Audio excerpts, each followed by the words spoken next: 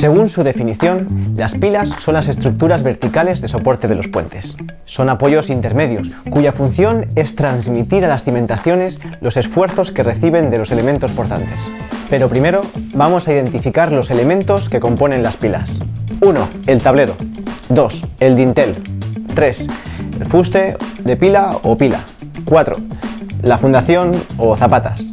Y 5. Los pilotes. ¿Qué tipos de pilas existen?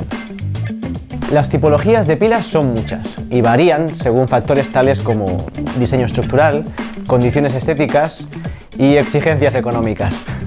Existen variables muy importantes que influyen a la hora de diseñar una pila. Las cargas que reciben del tablero, la altura, el ancho del tablero y la zona en la cual están ubicadas son unas de las más relevantes. En obra civil podemos catalogar las pilas según dos características principales, forma y sección. Vamos a verlas. Clasificación según forma. Según su forma, se pueden identificar estas categorías de pilas. Pilas rectas. Es la geometría más sencilla de pilas, ya sea con sección cuadrada o rectangular, sin inclinaciones y sin cambios de sección. Para esta tipología de pilas, normalmente, se utiliza un encofrado metálico estándar de muro y un sistema trepante para seguir avanzando en altura. Pilas curvas. Las pilas curvas tienen forma circular o elíptica y se emplean sobre todo cuando hay una exigencia hidráulica, por ejemplo en ríos, ya que esta sección reduce la presión dinámica del agua. Esta tipología de pilas se resuelve mediante encofrado circular estándar, o en el caso de pilas de sección elíptica o de grandes diámetros, mediante un encofrado especial. Pilas especiales. Puede suceder que por exigencias estéticas o funcionales, las pilas tengan una geometría especial, que requiera un estudio detallado y específico para ese diseño. Pilas pórtico. Esta tipología está caracterizada por un cabecero superior que une a varias pilas.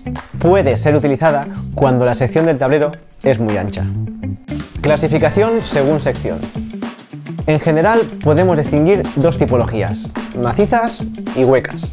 La sección maciza es típica de pilas con alturas no muy elevadas. Es la tipología más sencilla de ejecutar, ya que solamente debemos diseñar un encofrado exterior como si fuera un muro de grandes dimensiones o un pilar. Las de sección hueca, en cambio, se utilizan para pilas de gran altura, debido a exigencias en el aligeramiento y ahorro en costes de hormigón. Encofrado para pilas.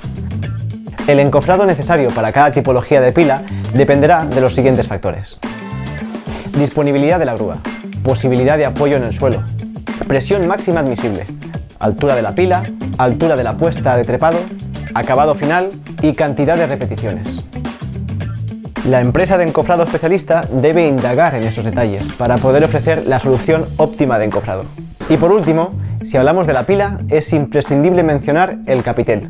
El capitel es ese elemento estructural cuya función es transmitir e interconectar las cargas entre el tablero y la pila. Existen básicamente cuatro tipos de capiteles. Capitel con neopreno. Es la tipología más utilizada en capiteles. Puede tener muchas formas, dependiendo del ancho y la carga del tablero. Para alturas mayores, se acostumbra a utilizar un sistema sin apoyo en el suelo, ya sea un sistema SCAP o de ménsulas. Capitel empotrado en tablero.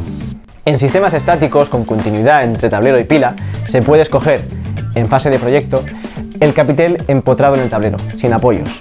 En este caso, se crea un nudo fijo. Pila sin capitel.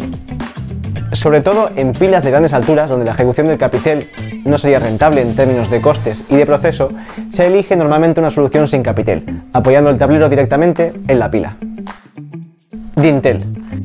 En el caso de las pilas pórtico, la solución es un dintel que va a transmitir las cargas a las pilas. Normalmente en estos casos se cimbra siempre apoyándose en el suelo, mientras que una solución sin apoyo resulta ser más complicada. Y hasta aquí el vídeo de hoy. Espero haberte ayudado y que nos dejes algún comentario.